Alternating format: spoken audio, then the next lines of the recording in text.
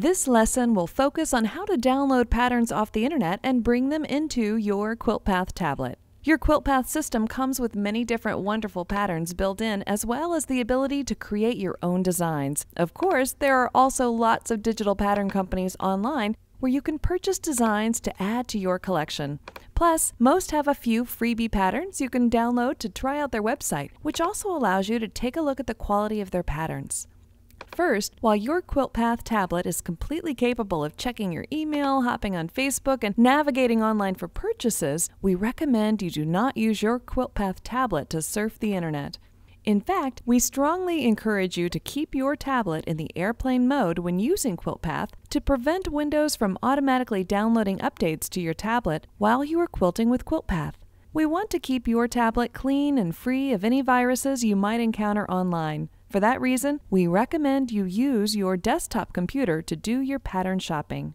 The first thing you will need is a USB jump drive or thumb drive. You can easily find one in the electronics section of most major retailers. While this video will show you how to transfer your purchase patterns to your QuiltPath tablet for easy access, we also encourage you to be sure you are consistently backing up the data on your regular desktop computer in order to protect your patterns in case your desktop computer suffers a hard drive failure. For this video, I have named my USB drive My QP USB. We do not recommend that you use the jump drive you received with your QuiltPath for this purpose, as it contains the master program on it. We are going to be working with the Windows Explorer portion of your desktop computer. If navigating to folders and creating new folders on your home computer isn't something you feel comfortable doing, please consider taking an online course on basic computer literacy at lynda.com, your local library, or county extension office. You will have much more success in computerized quilting if you are comfortable moving through files and folders inside your hard drive along with basic computer literacy skills. For this tutorial, we are using Windows 8 with the latest Internet Explorer browser version. If you prefer using a different browser or operating system, your process for downloading patterns may be slightly different. Be sure you have the latest version of your preferred browser. Let's grab a free pattern from digitechpatterns.com and walk through how to bring it into the tablet. Select the downloadable designs icon. Notice that it is blue and all menus and pages within the digital pattern portion of this site are blue.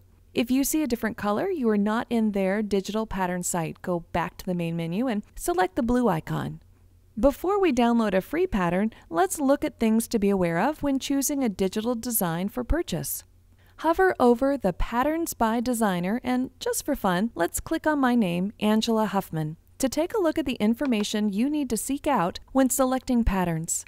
Click on the image for the candy corn pantograph. Many sites will provide images showing how a pattern will stack together so you can better understand how it will look on your quilt. Whenever you wish to purchase a design, you'll want to be sure it comes in a file format that will work for QuiltPath. Thankfully, we have a number of file types that QuiltPath will accept, with the most common ones being QLI and CQP.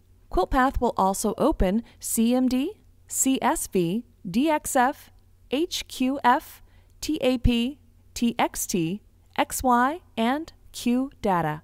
The native file type for QuiltPath is .gpf. You'll see that this pattern comes in many different formats when you download it, almost all of which QuiltPath will accept. You'll also see that the recommended size for the pattern is 4 to 9 inches. Now, let's take a look at how to download a freebie design and bring it into QuiltPath. Tap on the Free Items menu button. We're going to grab the block design called Abstract Block 212 by Jessica Schick.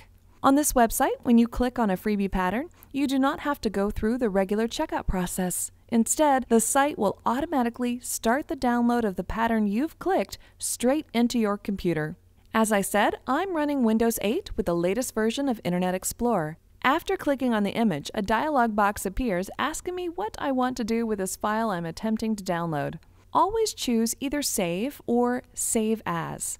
I prefer to use Save As so I control where the file is placed during the download.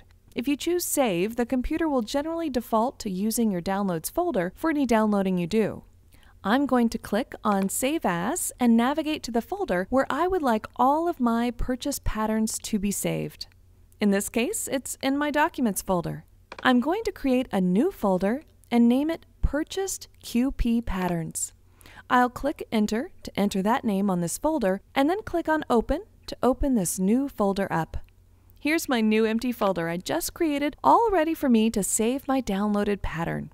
I'll keep the original name from the designer for the download, but later when I bring it into my QuiltPath, I'll rename it to something that I prefer. Now, click Save. At the bottom of my browser, I am notified that the download has completed. Normally, I'd click on Open to be taken to the new patterns files, but I'd really like you to see exactly what we've downloaded so you can understand how these files are sent to you from the designer's website. Click on Open Folder. There's our new pattern file. Do you see that it says it is a compressed file? In order to speed up the time it takes to download all the information in our pattern file, websites use what is called a .zip file or compressed file in order to speed up your download process. We will need to uncompress or unzip the file so we can get to the pattern.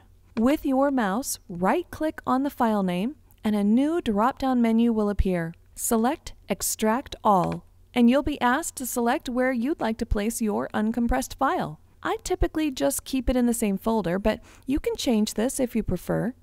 Make sure the Show Extracted Files When Complete box is checked, and click on Extract. Do you see all the different file types from the designer? Many websites will provide every file type for every computerized quilting system under the sun in their pattern files. Most of the time, they'll also include a PDF and image file for you too. We are interested in the CQP file type of our pattern for this tutorial. With your mouse, right-click on the CQP file and select Copy. Our new pattern file is now sitting in our temporary memory of our computer. All we need to do is paste the file onto our jump drive that we'll be using to transfer our patterns to QuiltPath. Make sure your jump drive is plugged into your home computer. Remember that I named mine MyQP USB. Yours may be named something different. Navigate to the jump drive by clicking on it in the file tree to the left to open up your jump drive. To keep things neat and tidy, I like to create a new folder in my jump drive named Patterns to Import. Double check the file tree to be sure you have the Patterns to Import folder open inside the MyQP USB jump drive and then right click inside the blank area in the folder and select Paste. Do you see the pattern now? Great! Keep in mind that we are only downloading one pattern, but we could certainly keep shopping and place multiple patterns on our jump drive until we're ready to bring everything into our QuiltPath tablet. I'm done shopping for now, and I'm ready to bring the pattern into QuiltPath. We need to eject the jump drive from our main computer by right-clicking on the name of the jump drive and selecting Eject. You can now safely pull out the jump drive from your computer. We are ready to bring the patterns into the QuiltPath tablet with my QP USB jump drive. We'll do that in the next lesson.